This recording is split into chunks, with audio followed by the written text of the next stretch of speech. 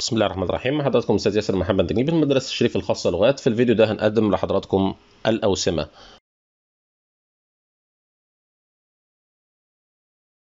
المنصة هنا بتتيح لك نوع آخر من التقدير اللي أنت تقدر تقدمه للطالب غير الدرجات وهو ما يعرف بالأوسمة. أنا دلوقتي في عندي طالب تميز فهدخل على الفصول بتاعتي وهعوز بأني أدخل على صفحة الطالب ده فهدخل على الأعضاء وبعد كده في الطلاب هفتح صفحة الطالب اللي تميز عندي. طيب أنا عندي دلوقتي الطالب اللي اسمه فلان هو طالب عندي في أحد الفصول عايز أمنحه وسام فهقدر بأني أقول منح وسام الأوسمة هنا بتنقسم إلى قسمين. أوسمة مقترحة ليك من المنصة وتقدر بأنك تديها للطالب وتمنحها للطالب وأوسمة أنت تقدر تضيفها. بالنسبة للأوسمة اللي المنصة بتتيحها لك تقدر بأنك تختار الوسام اللي أنت عايزه بعد كده تقول له امنح الطالب وسام فهيظهر الوسام ده عند المدرس بأن الوسام ده تم منحه من قبل المدرس ياسر محمد نجيب في التاريخ كذا. تقدر بأنك تسحب الوسام ده في حالة تراجع مستوى الطالب مثلا. لو أنت مثلا اديت طالب وسام بأنه تميز في مجال الأخلاق الأخلاق وبعد كده صدر منه تصرف لا يليق بأنه يحصل على الوسام ده فتقدر بأنك تعمل له سحب للوسام ده فتقدر بأن الطالب ده يتشال من عنده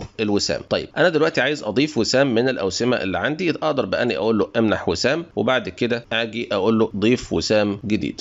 هاجي هنا وأحدد إيه هو الوسام اللي أنا عايزه.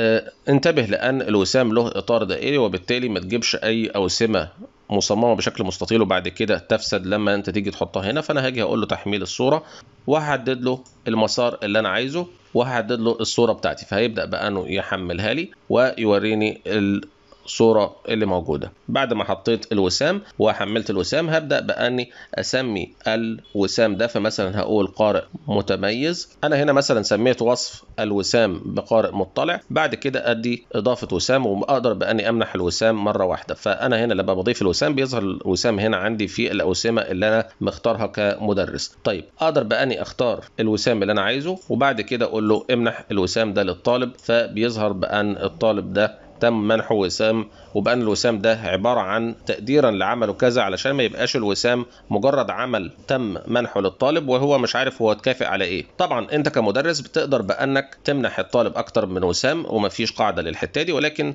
أنصح دايما بأنك تقنن حتة الاوسمه علشان يكون معروف للطالب إمتى بيحصل على الأوسمة. ولكن أنصح دايما حضراتكم بأنه ما يمنحش عدد كبير من الأوسمة على فترات قصيرة وتكون الأوسمة على فترات متباعدة شوية على سبيل المثال وسام في الأسبوع أو وسام في الأسبوعين أو وسام واحد في الشهر علشان توفر نوع من الدافعية عند الطلاب. طيب أنا دلوقتي بعد ما خلصت وشفنا إزاي نمنح الأوسمة وإزاي نسحب الأوسمة. علشان توفر مجموعة من الأوسمة لازم يكون عندك هنا مكتبة خاصة بيك من الأوسمة. على سبيل المثال أنا هنا مجهز مجموعة من الأوسمة الخاصة بيا أقدر بأني أستفيد من الصور ديت كأوسمة فمختار الصور اللي ممكن تظهر بشكل رائع في الأوسمة. بقدر بأني أستخدم كل الأوسمة ديت أو الصور ديت في الأوسمة كتقدير للطالب وتمنح للطالب بشكل جيد. طيب الأوسمة ديت تقدر بأنك تحررها عن طريق برنامج الرسام أو تقدر تحررها عن طريق أي برنامج وتكتب عليها العبارة اللي أنت عايزها أو أنك تختار حاجة مكتوب عليها ما يدل على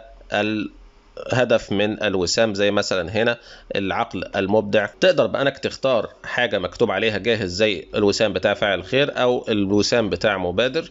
وتقدر بأنك تختار أي وسام فاضي وتبدأ إنك تحرره عن طريق برنامج الرسام أو عن طريق أي برنامج آخر أنت عايز تستخدمه وتكتب عليه العبارة اللي أنت عايز تعملها.